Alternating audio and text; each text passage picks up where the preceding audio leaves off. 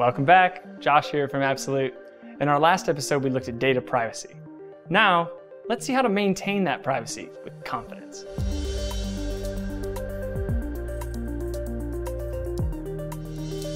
In 2018, 33% of successful attacks targeted personal information.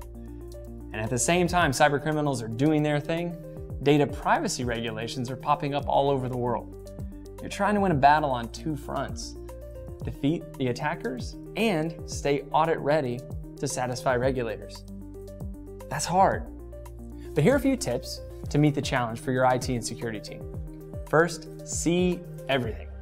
And try to think of IT assets as more than just the machines, physical or virtual, and consider a new definition of asset, one that embraces devices, data, users, and apps.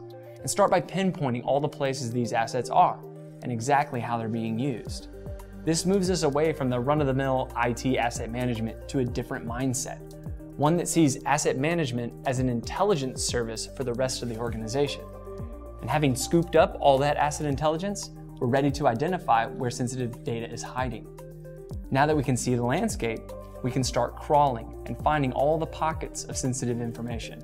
The preferred technique is called lexicographical crawling because the crawler is continuously looking up for key data markers like names, addresses, phone numbers, and other personal identifiers. And when you get a hit, you know where the data is camped. Now that we've located all that data, we're ready to move on to the next step analyze the risk. By assessing risks that are unique to your organization, you're able to rationalize which follow up actions are needed based on your risk tolerance, instead of assumptions and intuition. And this brings us to our final step a rapid response. Most legal requirements demand not only proof of protection, but also validating that you're mitigating exposures quickly. So we need to be able to reach any device with finely tuned commands to restore privacy protections in a moment. And by automatically regenerating controls, apps, and agents when they are disabled, you're positioned to thwart the cybercriminal and bring smiles to the faces of regulators, auditors, and most of all, those individuals whose data you have. Protecting data privacy is a moral concern because it has the potential to cause harm to real live people. But with the steps we've outlined here, you can be audit ready and withstand the onslaught of cybercriminals.